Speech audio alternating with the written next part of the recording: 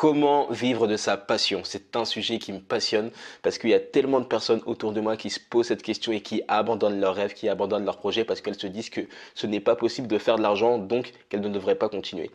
La personne que j'interviewe cette semaine, c'est Aurélien Amaker. Aurélien Amaker, il aide les gens justement à monétiser leur passion, leur expertise, leur domaine de compétences. Et je trouve ça incroyable d'apprendre ce genre de compétences aux gens parce qu'il permet à beaucoup de personnes de suivre leurs rêves et de gagner leur vie, même si la vie on l'a déjà gagnée à la naissance, hein, mais de faire de l'argent grâce à des choses qu'elles aiment véritablement. Donc Aurélien Amaker, si tu ne le connais pas, il a fait beaucoup de choses. Il a monté plusieurs blogs qui ont, qui ont amené pas mal de revenus passifs, plusieurs blogs sur ses passions, sur ses compétences, sur des sujets qui l'intéressaient. Il a aussi créé un logiciel, une solution qui s'appelle System.io, justement, qui aide les gens à monétiser leurs compétences en ligne, leur expertise. Enfin, vraiment, il court-circuite tout le système de la vente de formation avec System.io. On va en parler également. Et je trouvais vraiment que c'était quelqu'un d'intéressant à amener sur ce podcast qui est la percée parce que justement, il a sa propre définition de percée, il a créé ses propres règles, et il montre que beaucoup de choses sont possibles, qu'il est possible aussi de venir sur un milieu qui est plutôt euh, déjà très compétitif. Donc euh, ouais, c'est un très très bon podcast. J'espère que tu vas l'apprécier. On parle notamment de son parcours, des risques qu'il a pris, de, de, de ses business, de ses investissements, de System.io, de plein de choses qui vont t'intéresser. Donc n'hésite pas à me dire les points qui t'auront marqué dans ce podcast. On communique, on partage, on parle dessus. Je te dis à tout à l'heure et bonne écoute. Yes, yes, yes, yes, yes. Bah déjà, euh, moi je sais que voilà, tu es, quelqu'un qui, euh, qui est parti vivre en Australie, tu vois. Tu es parti vivre en Australie, tu as vécu pas mal de temps là-bas. Euh, il y a pas mal de personnes de ma génération, tu vois, qui ont à peu près entre 25 et 30 ans, qui hésitent à partir voyager, partir à l'étranger, quitter un peu le, cocon familial et tout. Toi, qu'est-ce que ça t'a apporté de partir, euh, partir en Australie? Bah, C'est déjà interview là? Ouais, ouais, ouais, ouais. Moi, c'est une, une, conversation. c'est jamais qu'on ça démarre. bah, tu as bien raison. As bien raison. Bah, écoute, je suis, en fait, je suis surpris que tu me dises ça parce que pour moi, c'est une évidence. C'est-à-dire, c'est si tu veux, il y a tellement d'opportunités mhm. à l'étranger par rapport à la France. Enfin, franchement, faut être bête pour rester en France. C'est pas méchant ce que je dis. Il y a des gens qui restent en France et qui sont très heureux, évidemment. Mhm. Toi, en plus, tu m'as dit, tu es à Paris Ouais, je suis à Paris, mais je reviens de. J'étais parti. Enfin, je suis entre Paris, Bruxelles, et là, j'étais parti m'installer à Los Angeles, mais je suis revenu. Ah ouais. Paris, Bruxelles, Los Angeles. Et Metz aussi. Il y a aussi un peu Metz. Metz? Metz. D'accord. Non, j'y suis jamais allé, mais bon, euh, voilà. Mais euh, ouais, donc, euh, non, c'est, enfin, pour moi, la question, elle se pose même pas. Quand tu es jeune, tu as tellement d'opportunités. Mhm. quand je suis arrivé en Australie, donc c'était en septembre 2007, mhm. c'est un truc de dingue. Je suis arrivé, j'ai fait waouh, c'est. Tu sais, tu sens que, bon, évidemment, c'est l'Australie, tu es à l'autre bout du monde, il fait beau, tu as la plage. Mais en, fait, il y avait un contexte économique qui était extrêmement florissant. C'est-à-dire mhm. que je crois que c'était le seul pays développé qui avait eu plus de 300 de croix plus de 3% de croissance sur les dix dernières années. Mhm. Et tu sais, ça, ça sentait l'oseille, quoi. Ça sentait. Et quand tu arrives de France où tu sais, c'est négatif, c'est voilà, la crise, etc. Moi, j'ai grandi, ça a toujours été la crise, la crise, la crise. Bah voilà, c'est super excitant. Et bah, j'ai lancé un premier business là-bas. Mhm. Mais euh, enfin, je sais pas, quand, quand, on est jeune, mais franchement, mais allez. Alors, bon, après, moi, Maintenant, je suis, voilà, je suis plus âgé, je suis plus exigeant, on va dire. Personnellement, le Moyen-Orient, Dubaï, etc., euh, c'est pas, voilà, c'est pas ma cam. Mhm. Après, au niveau économique, c'est pas ma cam au niveau culturel, parce que voilà, je, je trouve que ça manque de choses. J'aime bien l'Europe, j'aime bien, tu vois, les vieilles pierres, les machins, etc., le climat plus tempéré. Mais euh, non, pour, euh, pour des jeunes, tu vas là où ça bouge au niveau économique. Donc, c'est évidemment l'Asie, euh, l'Asie du Sud-Est, c'est le Moyen-Orient. Mhm. C'est là où tu as de l'argent, en fait. D'accord. Et là, si aujourd'hui tu avais de nouveau euh, l'âge que tu avais en, 2008, où est-ce que tu partirais? Ouais, bonne question. Bah, ce que je t'ai dit, c'est-à-dire, euh, ouais, Moyen-Orient, c'est évident. Euh, Dubaï, tu as donc exemption, d'impôts. et puis en plus, on a une chance de dingue, c'est qu'on est français. Donc partout où tu vas, c'est les gens adorent notre accent, notre culture. Tu vois, c'est une chance extraordinaire. Franchement, faut faut, faut jouer là-dessus. Mhm. Donc ouais, Moyen-Orient, euh, Chine, après les autres pays d'Asie du Sud-Est, Vietnam, Cambodge, ça bouge énormément. Mhm. Euh, L'Inde, l'Inde c'est plus compliqué, mais c'est, enfin voilà, c'est aussi quelque chose qui monte énormément. Tu peux même taper, je sais pas, il y, a vraiment, il y a plein de choses à faire, quoi. Ouais, c'est cool, c'est cool. Et du coup, tu es arrivé en Australie et c'est là que tu as commencé vraiment à prendre un peu plus au sérieux le, blogging. Donc, on est un peu avant la nouvelle décennie. Comment, comment, comment ça s'est passé euh, ta, découverte avec le blogging et comment se sont passés tes, bah, tes premiers essais? Ouais, alors attention, parce qu'en fait, ce qui s'est passé, c'est que je suis arrivé en Australie et en fait, j'ai monté ce business, mais c'était de la vente en porte-à-porte. Donc, ça n'avait rien à voir avec le blogging. Et en fait, ce qui s'est passé, c'est que j'ai créé un, blog. Donc, à l'époque, c'était un blog gratuit, c'était Blogspot, juste pour euh, bah, tenir un petit journal et puis tenir informé euh, les amis, la famille au pays. Mhm. Donc, bon, en pratique, personne ne le lisait. Ouais. Euh, j'ai mis de la pub Google AdSense dessus et j'ai gagné, je crois que j'ai gagné 2,50 euros en deux ans. Uh-huh. Donc pour moi, c'était impossible de gagner l'argent sur Internet. Mais ce qui s'est passé, c'est qu'en 2008, uh-huh. donc en 2008, euh, il y a comment ça s'appelle? La semaine de 4 heures qui est sortie. J'ai lu un article euh, dessus et je l'ai acheté et je l'ai lu. Et puis il y a voilà, j'ai commencé à suivre des blogueurs. Donc il y avait Cédric Anissette qui avait un blog qui s'appelait Business Attitude. Uh-huh. Il y avait Olivier Roland aussi qui a sorti un projet. Mhm. Euh, et, du coup, j'ai commencé à les suivre. Et quand je suis rentré en Australie, donc l'année suivante, donc c'était en 2009, mhm. j'ai rencontré Cédric.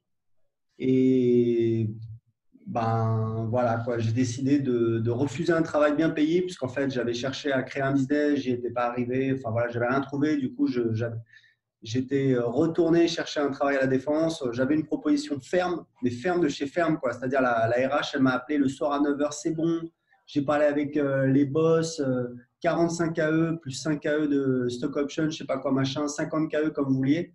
Mhm. J'ai dit bah écoutez, euh, j'ai décidé en fait de partir sur un projet perso, donc, donc voilà. Donc et le lendemain, j'ai commencé à travailler à temps plein sur mon blog, à écrire des articles, à essayer de me faire connaître, à réseauter, à rencontrer tous les gens que je pouvais sur Paris. J'ai commencé à gagner de l'argent avec la publicité et l'affiliation. Mhm. Euh, six mois plus, bah voilà, j'ai commencé à gagner 82 euh, euros, je passe 130 euros, 250 euros, donc voilà, ça a augmenté un petit peu. Au bout de six mois, j'ai réussi à gagner 1000 euros en un mois. Et là, j'ai voulu passer à la vitesse supérieure et j'ai voulu donc euh, créer un produit. Et donc, puisque je me souviens, c'était Cédric Agnissette, on, avait déjeuné ensemble à la Défense. Il m'a dit Ouais, il y a ce gars-là, Olivier Roland, il a lancé une formation, machin il a des clients euh, qui ont accès à un site privé et il touche 15 000 euros par mois ou je sais pas quoi. Mhm. Et, et, voilà, et du coup, j'ai appris que Sébastien, marketeur français, avait fait le lancement de Olivier. Je, suis je suis rentré en contact avec Sébastien, j'ai fait son interview, je lui ai dit que je voudrais faire un lancement également. Mhm. Et voilà, et du coup, j'ai signé, j'ai investi euh, la moitié de mes économies, 25 000 euros pour travailler avec lui on a commencé à travailler de manière intensive. Au bout d'un mois, on a lancé un produit, une formation marketing pour créer un blog rentable. Euh, on a fait un petit lancement, on a fait 10 000 euros. Et euh, l'année suivante, on a fait un gros lancement avec partenaire et on a fait 550 000 euros de vente en deux semaines. D'accord. Déjà, je voudrais revenir sur ta rencontre avec euh, Cédric Anissette. Je voudrais un peu que tu me parles des. Parce que tu parles souvent des rencontres, de networking, de réseauter, que c'est important pour se développer en tant qu'entrepreneur. Est-ce que la rencontre avec Cédric Canissette a été la rencontre la plus déterminante de ta carrière ou est-ce que tu en as eu d'autres qui t'ont aussi marqué? Ouais, c'est une bonne question. Euh, alors, il faut replacer les choses dans leur contexte. C'est-à-dire qu'à l'époque, si tu veux, Cédric, bah, ce n'était pas le gros marketeur qu'il est aujourd'hui, etc. C'était mhm. euh, quelqu'un, mais qui avait déjà euh, de l'attraction. Il faisait entre 500 et 1000 euros par mois avec son blog. Il en parlait d'ailleurs sur son blog. Mhm. Et ça a été une rencontre clairement déterminante, puisque si tu veux, quand on a déjeuné ensemble, on a discuté et et je lui ai dit, bah, en fait, ouais, enfin, il m'a dit un truc, il m'a dit, si ce que tu m'as dit, c'est vrai, parce que je lui ai mhm. raconté mon histoire en Australie, etc.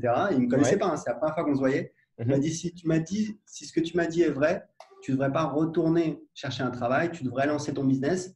Et moi, voilà, c'était mon rêve, évidemment, de, voilà, de créer mon business. Mhm. Euh, et, même pour la petite histoire, j'y étais allé en moto, la fourrière avait embarqué ma moto et je suis rentré chez moi à Gennevilliers à pied. Donc, je ne sais pas si tu vois la défense, Gennevilliers, c'est trois heures. Ouais, c'est loin.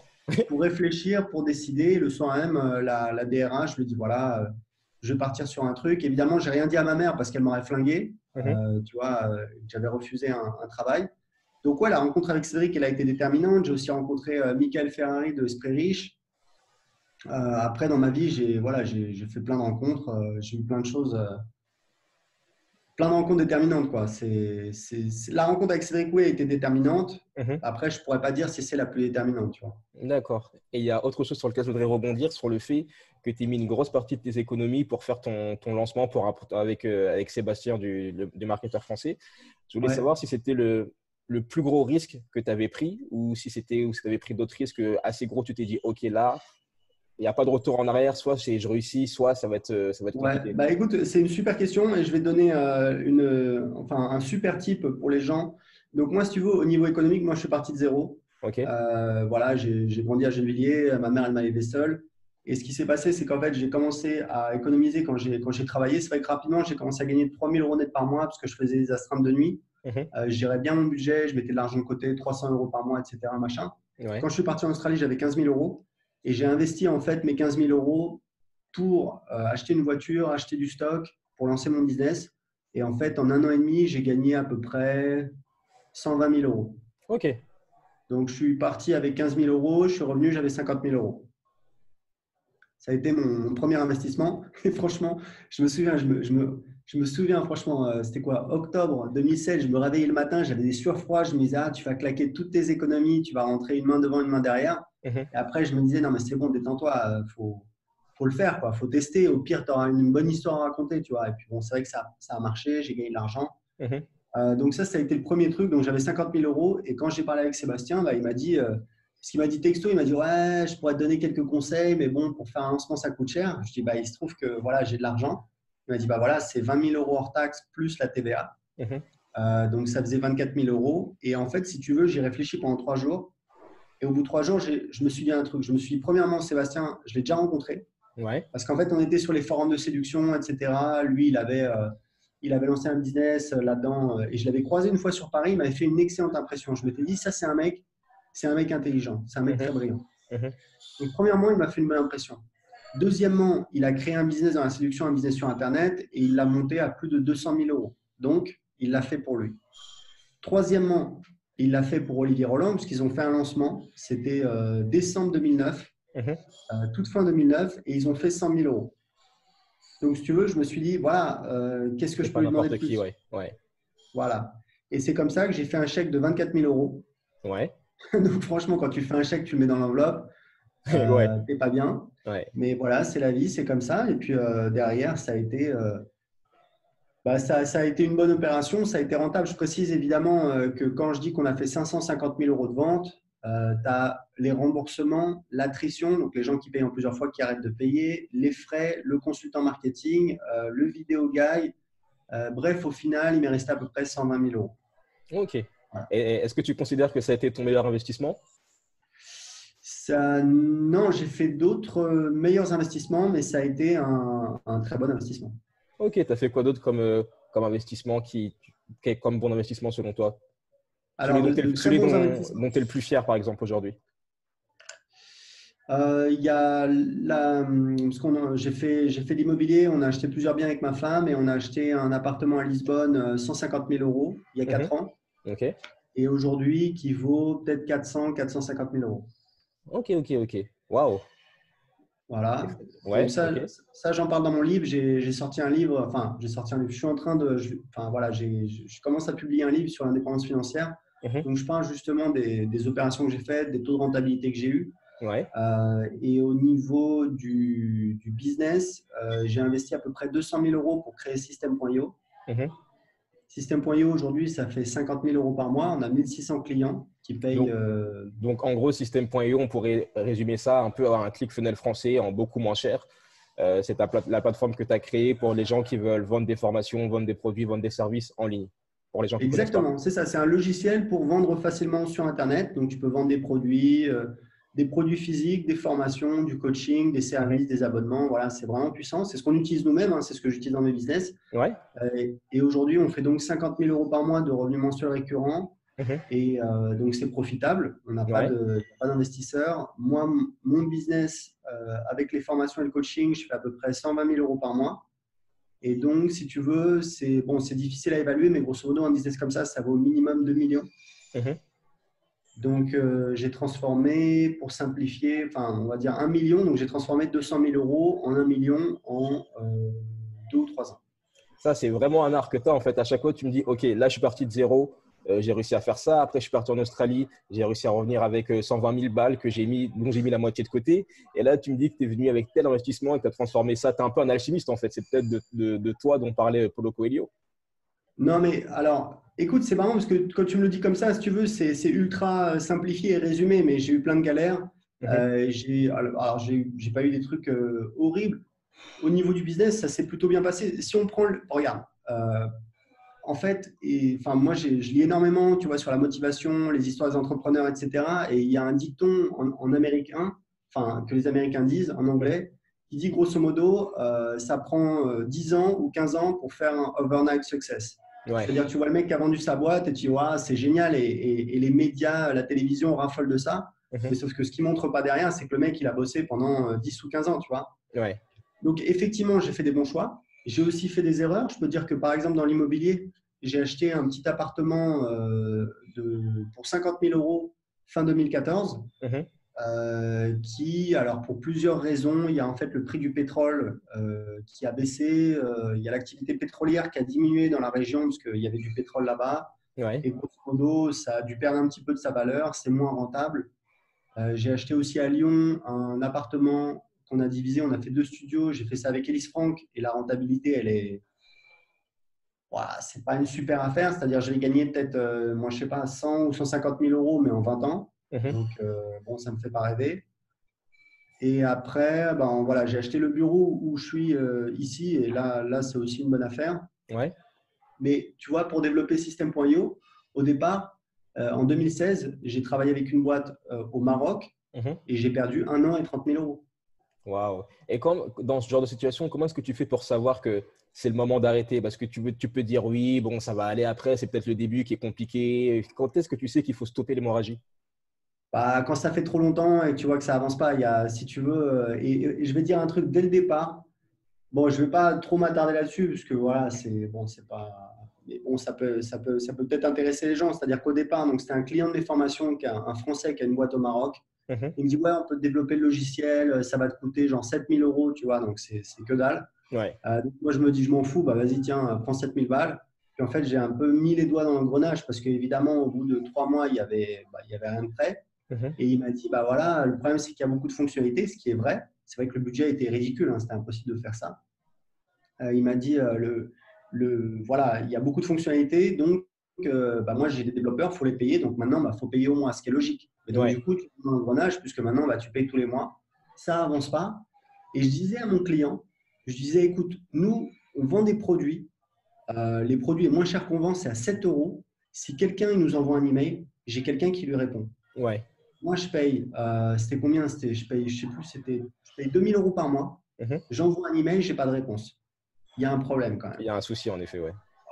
Voilà. Et euh, donc, c'était la galère. Du coup, c'est pour ça qu'avec ma femme, on est allé les voir au Maroc. je crois que c'était en avril 2016. Mhm. Donc les mecs, des amateurs complets, c'est-à-dire qu'on était dans la salle de réunion. Et je leur ai dit, ouais, il y a un truc là, j'ai vu euh, Scrum. Donc Scrum, si tu veux, c'est la méthodologie de développement logiciel. C'est le standard depuis euh, quasiment 20 ans. Mhm. D'accord? C'est ce qu'utilisent toutes les startups. Donc tu cherches Scrum, S-C-R-U-M. Tu as déjà entendu mhm. parler? J'en ai déjà entendu parler, oui. Voilà, bon, bah, c'est le truc. Voilà. Je leur dis, voilà, il y a ce truc-là, la Scrum. Euh, uh-huh. on, devrait peut-être l'utiliser. Les mecs, ils se regardent, ils disent, ils savent pas ce que c'est. Ouais. Voilà, ils ne savaient pas ce que c'était. Je veux dire, c'est flippant. Donc, euh, évidemment, ça avançait pas au niveau logiciel, etc. Et puis, du coup, en octobre, euh, voilà. C'est-à-dire, si tu veux, c'est pour t'expliquer. Je me souviens, j'étais dans ma douche et je mhm. me disais, voilà, donc je lui ai envoyé un email sur un truc très important il y a deux semaines. J'ai pas eu de réponse. Donc, comment je peux lui envoyer un email ou le contacter pour avoir une réponse pour... je me suis dit, attends. Ouais, là, c'est trop. Ouais c'est du n'importe quoi, c'est des guignolos. Mhm. après, je te passe les détails.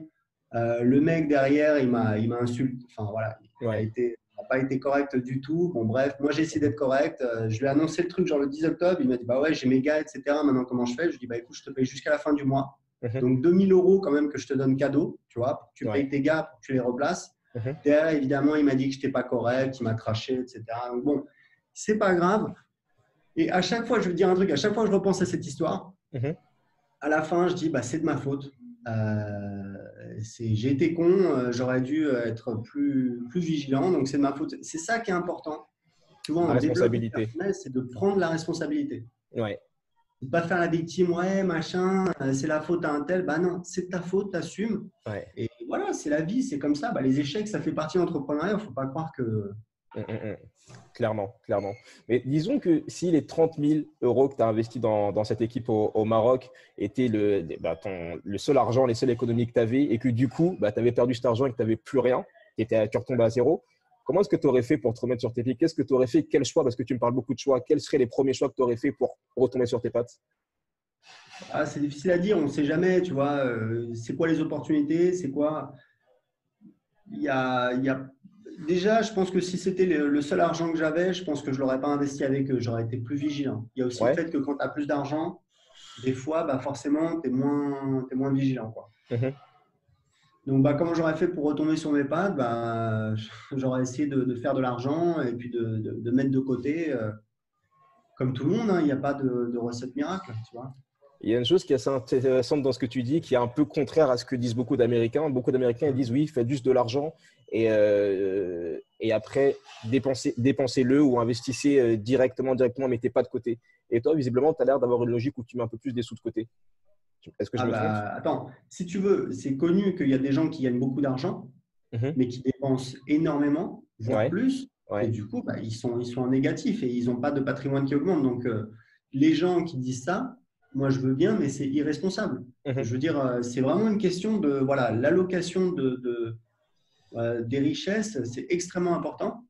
Euh, il faut voilà, il faut kiffer, il faut investir sur soi, mais il faut surtout bah, économiser, investir son argent intelligemment pour bah, pour avoir voilà de, un meilleur rendement. Je vais donner un exemple, c'est que nous en 2015 quand on est arrivé au Portugal, moi mon défi c'était d'acheter, de faire un investissement immobilier dans l'année qui suivait mon, installation. Mhm.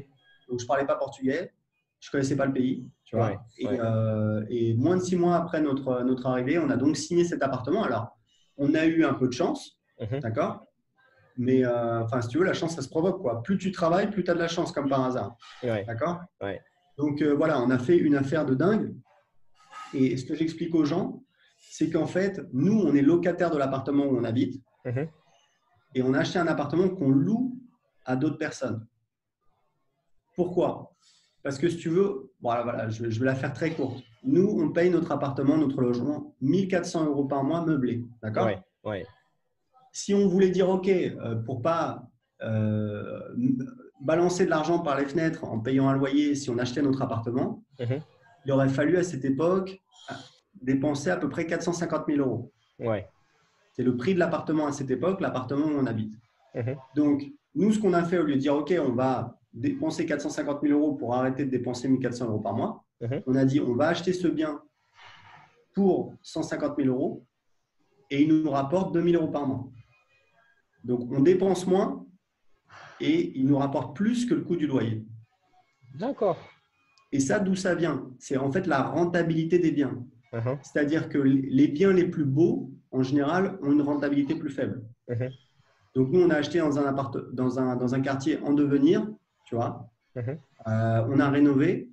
Et, voilà, donc nous, on habite dans un quartier qu'on trouve plus joli, qu'on préfère. Un appartement qui vaut aujourd'hui 600 000 euros. Ouais. Et, euh, et, on a un bien bah, voilà, qui, euh, qui nous rapporte de l'argent et qui nous paye notre loyer et qui même nous, nous, nous donne un petit peu de, de cash flow tous les mois.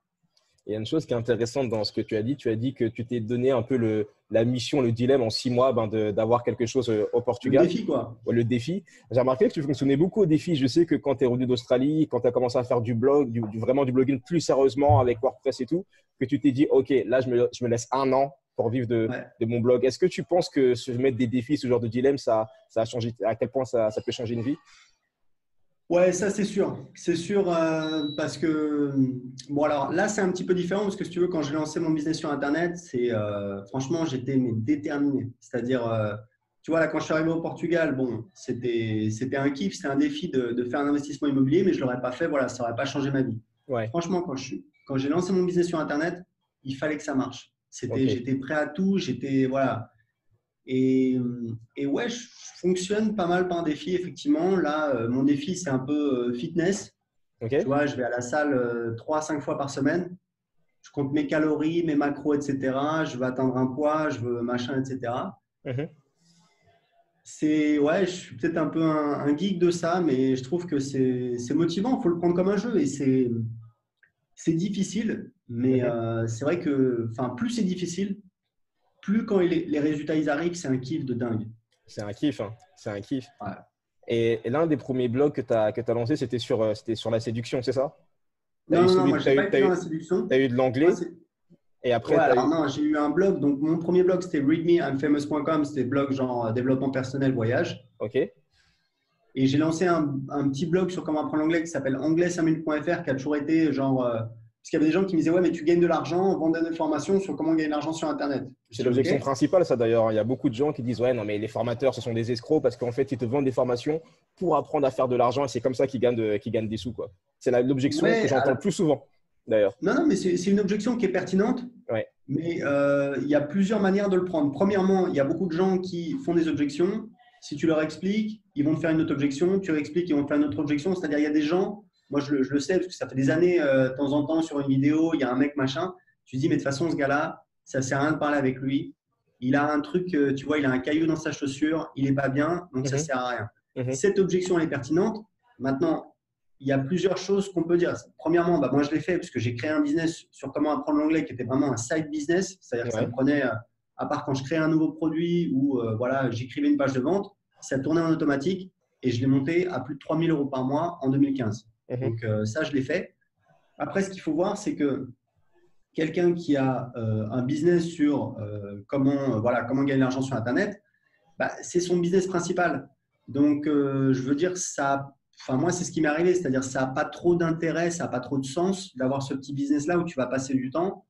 et si tu fais plus 50%, bah, ça va rien a rien à voir avec si tu fais plus 50% pour ton business principal. Donc, tu vois, il y a un moment où de toute façon, les gens qui vendent des formations sur comment gagner de l'argent sur Internet, ils sont spécialisés là-dedans et du coup, bah, c'est normal qu'ils fassent que ça parce qu'en fait, économiquement, c'est plus logique.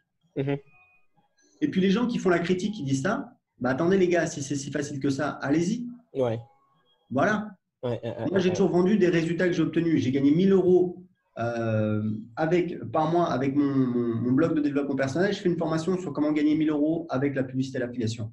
Mhm. Euh, voilà, j'ai toujours vendu que les résultats que j'ai obtenus, libres ou non aux gens de les acheter. Si tu mhm. veux, pour moi, moi je, pour moi, je suis un marketeur. Mon métier, c'est de vendre. D'accord mhm. Et pour moi, l'éthique, c'est super important. Sérieux, les gens qui, qui, critiquent, qui machin, etc. Mais attends, mais mec, mais t'es qui? T'as aidé qui? T'as fait quoi dans ta vie? Tu, tu, tu, marches dans la rue, tu distribues des billets de 500 euros à tout le monde? On t'a pas vu, tu vois? Moi, je sais tout ce que je fais. Je sais tous les gens que j'aide. Euh, l'éthique, pour moi, c'est hyper important et j'explique toujours pour moi une différence qui est fondamentale. C'est quoi l'éthique? L'éthique, c'est comme en séduction. Tu vas, tu vas à un rendez-vous avec une belle nana, mhm. bah, euh, tu, euh, tu, te fais beau, tu te mets du parfum, tu te présentes sous ton meilleur jour. Mais si tu tires des palettes à Carrefour, tu dis pas que tu es pilote d'avion. Ouais, ouais. Et ben, le marketing, c'est pareil. Je veux te vendre mon produit, je vais t'expliquer par A plus B qu'il est magnifique. Je ne vais pas te dire que voilà, je ne vais pas inventer des choses. Donc pour moi, l'éthique, elle est là, c'est clair et net. Euh, voilà. Ok, ok, ok. Et ce qui est et du coup, toi, parce que es, voilà, es vraiment, tu vends beaucoup de formations sur le, sur le blogging, etc. Euh, tu m'as as dit que ce qui a fait la différence pour toi lorsque tu t'es lancé le défi de vivre de ton blog en un an, c'est que tu as commencé à mettre en place des techniques, des stratégies, etc. Selon toi, si tu devais retenir qu'une seule technique qui a vraiment fait la différence, qui a fait effet de levier, ce serait laquelle que tu pourrais partager? Ouais, alors quand tu dis les formations blogging, aujourd'hui, c'est, c'est, enfin, ça couvre beaucoup plus de choses. Hein. Euh, copywriting, euh, YouTube.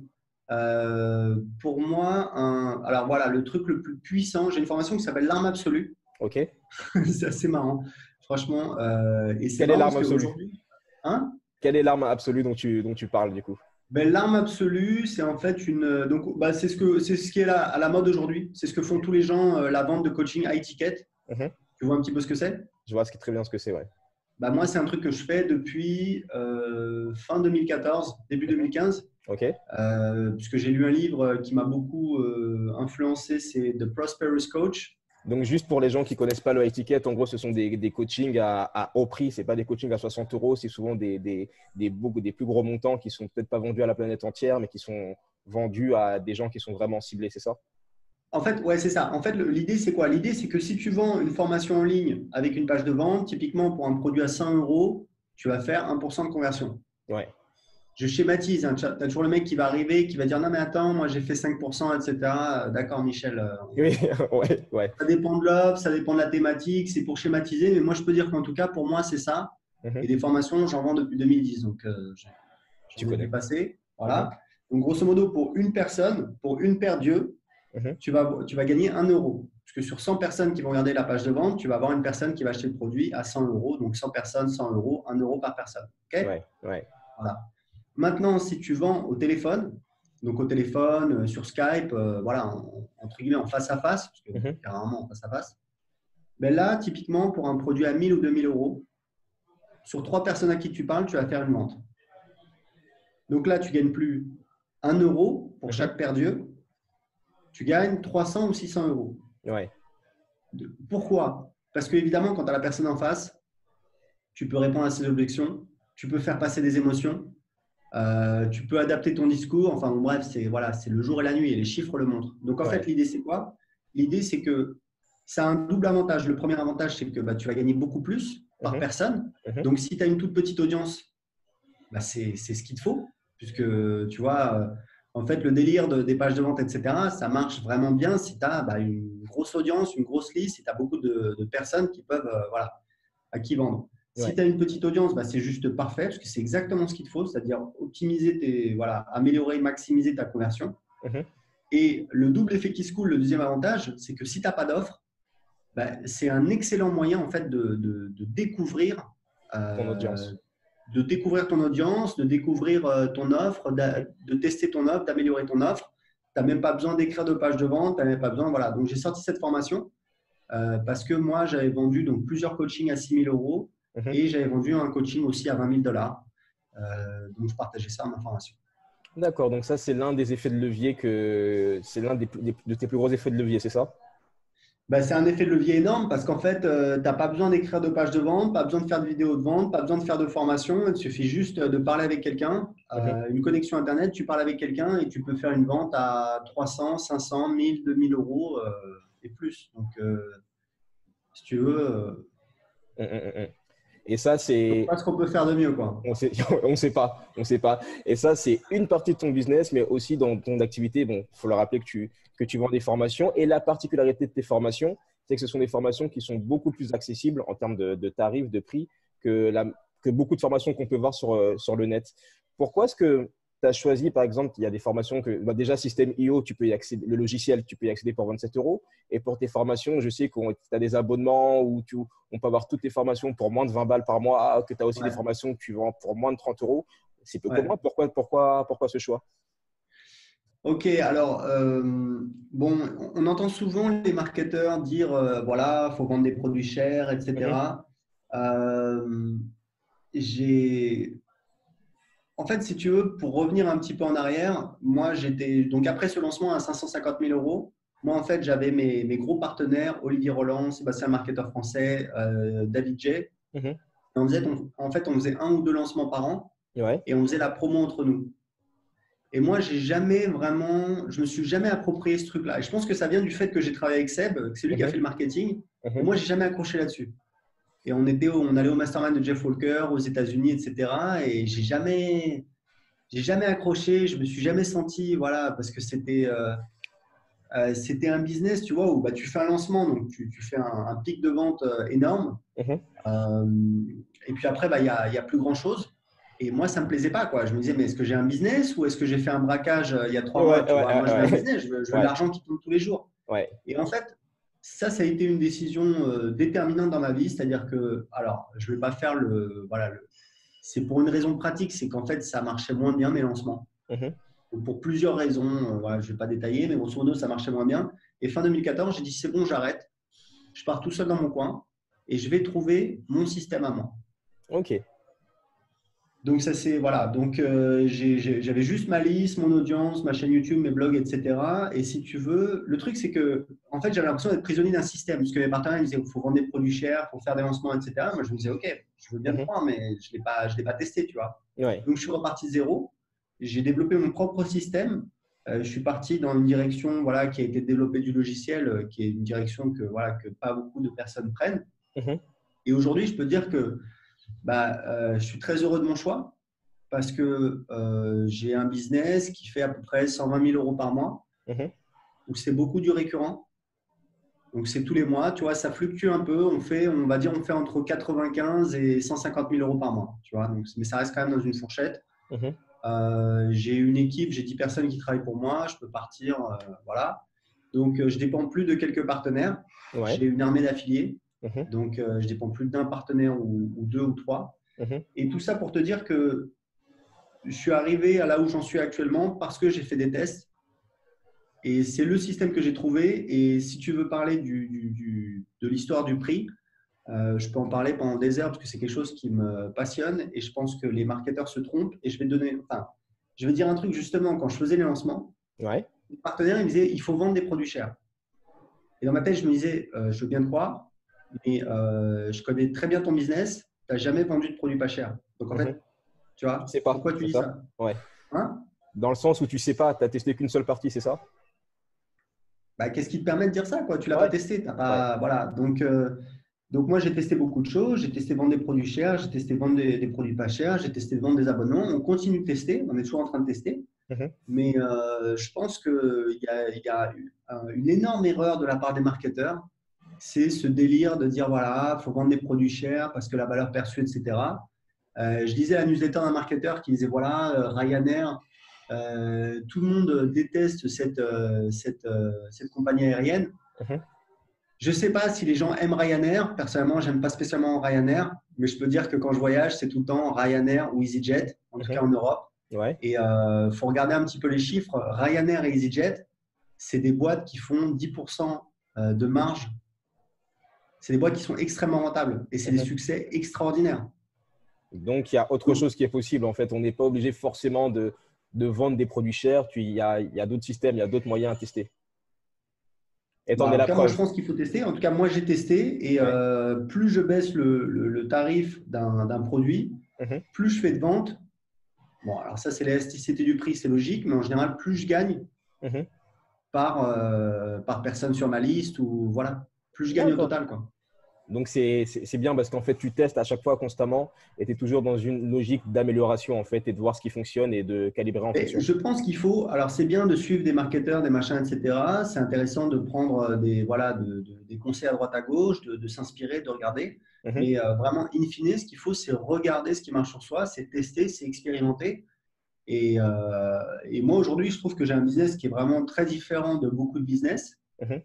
Et en tout cas, moi, je suis très satisfait de mon business. C'est-à-dire que les résultats auxquels je suis parvenu, on a beaucoup de récurrents, on développe de la technologie, où on a une équipe. Tu vois, mhm. j'ai 10 personnes qui travaillent pour moi, elles sont toutes à distance. Euh, il y a des gens qui ont vraiment des responsabilités. Euh, j'ai un commercial, j'ai un coach. Euh, je pense que pour moi, c'est des boîtes, c'est pas mal. Quoi. Après, il y a encore du boulot, mais je pense qu'il faut faire attention. Il y a, il y a... Je ne sais pas si ça vient de. Tu as, dû lire Cialdini. Euh, Robert Cialdini, euh, Influence et Manipulation Tu as dû le lire Ouais, je l'ai lu. Ouais. Voilà, bon, bah voilà, bah, c'est un super bouquin moi, qui, a, voilà, qui a changé ma vie, euh, etc. Uh-huh. Mais je pense qu'il y a une erreur dans ce livre, c'est qu'en fait, il donne l'histoire de la, la, vendeuse de bijoux qui, par inadvertance, elle, elle, double les prix de ses bijoux. Uh-huh. elle revient, elle, elle, part, elle revient, elle s'aperçoit qu'elle a vendu genre un bijou ou deux bijoux. D'accord? Plus cher que ce qui était prévu. Tu te souviens de cette anecdote? Je me rappelle cette histoire, oui. Voilà, et la conclusion, c'est, bah voilà, puisque la valeur perçue a augmenté, euh, les gens ne l'achetaient pas avant et maintenant l'achètent. attendez, je vous arrête tout de suite. Premièrement, parce que si tu veux, quand tu es entrepreneur, ce qui est important, c'est d'être capable de, de, de, de, faire la, une bonne analyse de la situation, de la mhm. réalité. Mhm. Déjà, il y a beaucoup de personnes qui n'en sont pas capables. Tu sais, genre le, mec qui débarque sur ta vidéo qui dit Ouais, c'est du mytho, tu interviews une cliente. Ouais. Tu as dire, mais mec, euh, moi, je suis pas, euh, je suis pas Spielberg, quoi. Je suis pas metteur en scène, d'accord? C'est, tu vois, ça se voit que c'est vrai en fait. Donc, ça veut dire que tu as quand même un problème. Donc, il y a beaucoup de gens déjà qui sont pas capables d'apprécier la réalité de la situation. Mhm. Donc, ça, c'est quand même un problème quand tu es entrepreneur, parce que tu dois te baser sur la réalité pour prendre des décisions. Et après, euh, le deuxième niveau de, sélection, c'est qu'il y a beaucoup de gens qui sont pas capables de prendre les bonnes décisions, de, de faire la bonne analyse. Donc, si en plus derrière, il faut bah, en tirer des conclusions, définir un plan d'action et s'y tenir, tu te rends compte pourquoi il y a énormément d'échecs? Parce que bah, c'est quand même, c'est pas facile. Quoi. Voilà. Ce que je veux dire par là, c'est que quand tu vois cette expérience, il s'agit d'une vente. Donc, tu ne peux pas en tirer une règle, en tirer un enseignement sur une vente au niveau statistique, ça n'a aucune valeur. D'accord? Ouais, ouais, Voilà. Et tu te doutes que si c'était aussi simple de doubler ses prix pour gagner plus d'argent, bah, ce serait le Voilà, un, bonbon, ça vaudrait 3 milliards et on serait tous milliardaires et ça ne marche pas comme ça. Donc, voilà, il faut, faut, revenir un petit peu sur Terre. Donc, je pense qu'il y a beaucoup de marketeurs qui sont tombés dans cette erreur. Uh-huh. Euh, après, euh, voilà, peut-être que moi j'ai tort. En tout cas, moi je trouve que en baissant les prix, j'ai plus de clients. Uh-huh.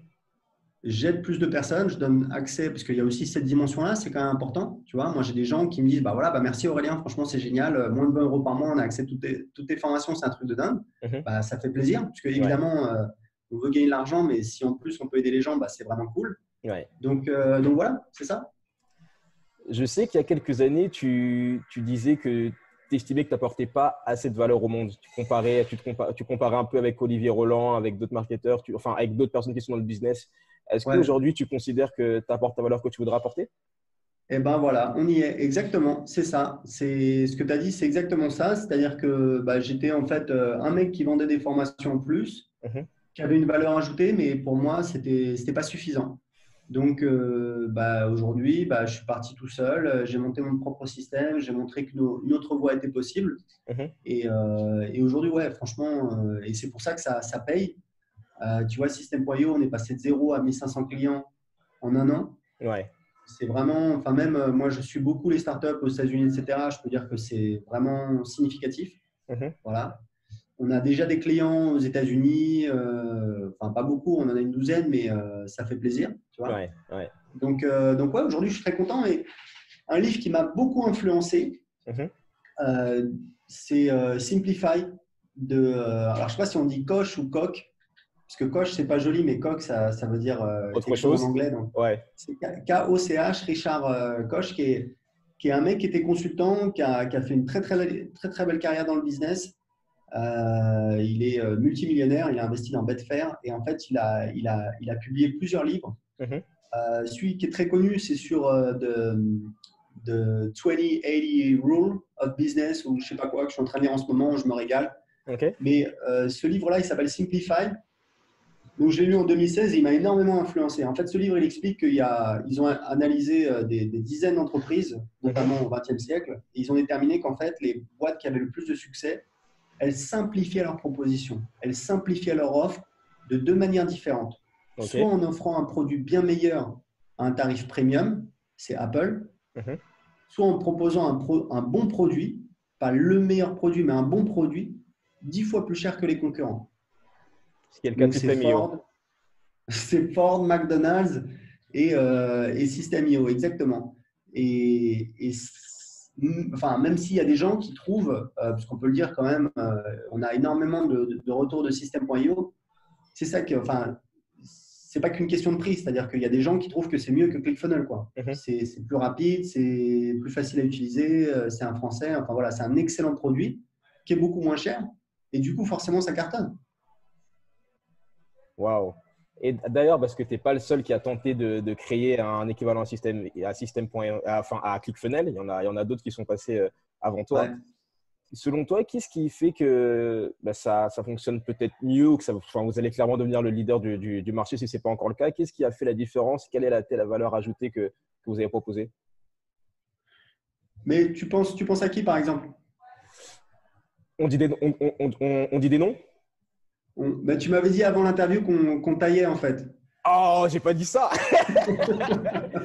non, je plaisante. Non, non, t'es pas obligé de dire, mais tu penses à. Enfin, je sais pas, c'est plus, c'est plus concret si on parle de, personnes. bah, bah, je sais pas. Moi, je sais qu'il y a plus de personnes que je connais maintenant qui se dirigent plus vers System.io que sur, vers l'Ernibox, tu vois, par exemple. Ben, l'Ernibox, l'Ernibox, euh, ça reste le, leader du marché. Ils ont mhm. beaucoup plus de clients. Euh, après, enfin bah, je sais pas, je sais pas, je sais pas comment dire. Euh, euh, apparemment, euh, j'ai entendu des bruits. Ils veulent, ils veulent me poursuivre en justice parce que j'ai dit que c'était moins bien ou je sais pas quoi. S'ils font ça, c'est vraiment idiot parce que si tu veux l'Ernibox, c'est. C'est une autre plateforme, en gros, pour ceux qui ne connaissent pas, juste. C'est une plateforme qui permet de mettre des formations en ligne, qui te permet de faire un peu de blogging et de, de vendre aussi. Voilà, donc quand c'est sorti en 2015, c'était, c'était bon. Moi, j'ai toujours trouvé que c'était cher, mais euh, ça commence. Euh, voilà, ils sont alignés sur les tarifs de ClickFunnels, quoi. Voilà, 100 euros par mois. Mhm. Mais quand c'est sorti en 2015, moi, les clients de mes formations me disaient, bah voilà, c'est pratique, c'est facile à utiliser, etc. Moi, je trouve qu'ils n'ont pas innové au niveau technologique. Mhm. Au niveau design, ça n'a jamais été très bon. Au niveau ergonomie, c'est pas terrible non plus. Donc, si tu veux, si tu regardes, si tu compares avec des startups, euh, tu prends des startups comme ActiveCampaign où ça commence à 9 dollars par mois. Euh, je veux dire, c'est, enfin, demander 100 euros par mois pour ça, c'est pas, pour moi, c'est, c'est, vraiment abusé, quoi. Donc aujourd'hui, je pense qu'on est en train de prendre des parts de marché mhm. parce que bah, les gens, ils sont pas bêtes. System.io, ça fait énormément de trucs, c'est facile à utiliser, c'est le retour qu'on a tout le temps, c'est facile à utiliser, c'est intuitif et c'est super pas cher. Mais attends, les, gens, ils sont, ils sont pas bêtes, quoi. Tu vois, il y a un moment, euh, qu'est-ce qu'il faut le plus? Qu'on, chante des chansons, qu'on, tu vois? Ouais, ouais, Voilà. En tout cas, déjà, la, leçon qu'on peut tirer de, de System.io, de tout, ce que, de tout ce que tu fais, c'est que c'est possible de créer un produit, un service, même s'il y a déjà des concurrents. En fait, ça ne veut pas dire que c'est parce que le marché est déjà pris par quelqu'un que ce n'est pas possible de, de, prendre ta propre part du marché. C'est ça? Non, mais En fait, moi, j'ai toujours dit, et ça a toujours été ma vision depuis le, depuis le départ, mhm. euh, avec System.io, on va rentrer sur un marché où des boîtes, elles font entre 10 et 100 millions. Ouais. Euh, donc, si on fait un sale boulot, on fera 5 millions. Mhm. Bah, 5 millions, c'est pas mal. Ok. Bah, en tout cas, c'est parce qu'il y a un marché, qu'il y a des parts de marché à prendre. Et, euh, et ouais, après, c'est à voir. On va voir si on arrive à, réussir. Mais je sais pas, là, j'ai eu des contacts euh, ces derniers mois avec des agences marketing aux États-Unis, etc. Où des fois, ils me disaient Ouais, mais c'est it's a crowded space. voilà, c'est un, un, univers où il y a beaucoup de compétition, etc. Mhm. J'allais dire, mais mec, euh, bah ouais, justement, il y a, y, a, y a, un gâteau énorme. Donc, si je mhm. vais prendre 10%, euh, je vais gagner beaucoup plus que si j'ai 10% d'un petit gâteau, tu vois. Ouais, clairement. Euh, c'est voilà, c'est en tout cas, nous, on a, on, a, on a une croissance très forte. Mhm. A priori, ça va continuer sur le marché français. On a aussi le marché anglais. Donc, tu vois, là, je pense que sur le marché français, on peut faire, dans moins d'un an, on va être à 200 000 euros par mois. Euh, si on arrive à faire la même sur le marché anglais, alors d'ici un an, je ne pense pas, mais peut-être dans deux ans ou, voilà, ou dans trois ans, bah, ça fait 400 000 euros par mois, ça fait 5 millions. Euh, et puis après, bah, tu continues à, à, développer le business, tu vois. Waouh. Ok. Bah, écoute, Aurélien, on va, on va arriver aux questions de la fin. Ton temps est important, il est bientôt 15h30, on avait dit 15h30. Pas de souci. Le podcast s'appelle La Percée. Yes. J'aurais voulu savoir quelle était ta définition de, de percer. Bah, percer, ça dépend, ça dépend de là où t'en, là où en es en fait. Hein. C'est, tu peux percer. Moi, j'ai percé en 2010 sur Internet, mais après, ben, j'étais pas satisfait. Je voulais faire autre chose et bah, là, j'ai percé avec System.io. C'est, c'est, c'est percer, bah, c'est passer à l'étape suivante. Tu es à l'étape A, tu vas aller à l'étape B. Et, et c'est la vie. Et tu as toujours cette illusion de OK, quand je serai arrivé là, bah, je serai heureux. Mhm. Mais en fait, non. Euh, tu vois, euh, bah, quand tu es arrivé à l'autre étape, bah, tu as d'autres problèmes, tu as d'autres envies, tu as d'autres désirs. Mhm. Et c'est ça que les gens n'arrivent pas forcément à voir. Quoi. Et moi, je parle beaucoup d'argent, d'indépendance financière. Et je dis aux gens, mais euh, enfin, ne faut pas attendre d'être riche pour être heureux. Mhm. Parce que c'est idiot. Et je, je, te dis sincèrement, moi aujourd'hui, je me suis rendu compte récemment que j'étais, bah, entre guillemets, multimillionnaire, tu vois. Euh, les trucs qui me rendent heureux, c'est des trucs, mais simples, quoi. Tu vois, c'est une bonne séance de sport, c'est de cuisiner le soir. Je cuisine tous les soirs, j'adore ça. Mhm. C'est de manger un bon truc, c'est voilà, c'est de passer un bon moment avec ma femme, avec ma fille. Sérieux, quoi. C'est évidemment l'argent, c'est bien, ça va de faire des trucs cool, etc. Mais je crois que ça a été montré qu'au-dessus de 5000 euh, dollars par mois, le, niveau de bonheur augmentait, augmentait pas. C'est fou. Donc pour toi, la définition de, de percer, d'une percée, ce serait de passer à l'étape suivante? Ou, ce serait, ou ce serait plutôt bah, de, de, savoir se contenter de ce qu'on a déjà, de ne pas attendre d'avoir plus pour être heureux bah, Ce serait de passer. C'est ça, en fait, ce paradoxe du, développement personnel, c'est qu'on en veut plus. Uh-huh. Mais en fait, la notion même d'en vouloir plus implique que, bah, en fait, on n'en a pas assez et que du coup, on n'est pas heureux. Et donc, il faut faire très attention à ça parce que c'est humain et voilà, c'est propre du vivant de, de chercher à, à, se développer, etc. Mais il ne faut pas tomber justement dans ce piège-là de dire voilà, bah, je serai heureux quand je serai riche, quand j'aurai ça, quand j'aurai ça. Mhm. Parce qu'en fait, ce n'est pas une bonne manière de voir les choses. Il faut essayer d'être heureux aujourd'hui. Et il y a un exercice très simple, parce que tu as des formations sur tout et tu as des formations aussi sur comment être heureux. Moi, j'avais un client, il avait lancé une formation sur comment être heureux, tu vois, il avait fait 3000 euros, etc. Mhm. Mais tu as des exercices très simples je veux dire, si, si, tu peux augmenter ton niveau de bonheur aujourd'hui sans avoir besoin de, tu vois, d'aller à la salle de gym ou de gagner de l'argent ou de réussir un truc, etc., bah, c'est assez génial. Et c'est un exercice très simple. Tu, tu, notes en fait tous les trucs pour lesquels tu es redevable. Mhm. Tu vois, euh, mes parents, ils sont en vie. Euh, euh, je sais pas moi, tu vois, j'ai bah, un toit, toit au-dessus de ma tête. Euh, tu vois, et ça, c'est un exercice. C'est impressionnant, quoi. Tu vas, tu vas vraiment te rendre compte à quel point on est déjà riche, en fait. On a beaucoup de choses et voilà, et note quelles sont les choses qui, te rendent heureux. Tu que c'est des trucs très simples. Moi, c'est marcher dans la rue à Lisbonne en écoutant un podcast ou en écoutant de la musique. Mhm. Voilà, il n'y a pas besoin de. Il n'y a pas besoin de plus. Ouais. Est-ce qu'il y a, bah, si, y a besoin de plus quand même, parce que j'aimerais bien euh, me payer une belle baraque, etc. Là, je vais ah. acheter une Tesla. Mais il y a besoin, mais entre guillemets, tu vois. C'est-à-dire, c'est comme. Je dis toujours, c'est comme si tu joues à la PlayStation, tu joues à FIFA. Mhm. bah, tu as envie de gagner. Tu as envie de devenir meilleur, tu as envie de gagner championnat, tu as envie de, de, passer au, niveau, au level suivant. C'est normal, on est câblé comme ça, mais si tu veux, il faut le prendre comme un jeu. Mhm. Et évidemment, au départ, quand on est en mode survie, il faut créer un business, etc. Bah, on fait, voilà, mhm. Tout ce qu'on peut et c'est difficile. Et, en tout cas, je peux vous dire que voilà, quand on a un business qui tourne, etc., c'est un kiff, c'est comme un jeu mais il faut le prendre comme un jeu et pas conditionner son bonheur à l'atteinte justement de l'objectif A ou B. Mhm. Est-ce qu'il y a quelqu'un qui, t'inspire, qui, qui, représente parfaitement ta, ta, définition de la perso ou pas? Quelqu'un de vivant ou de, de plus là?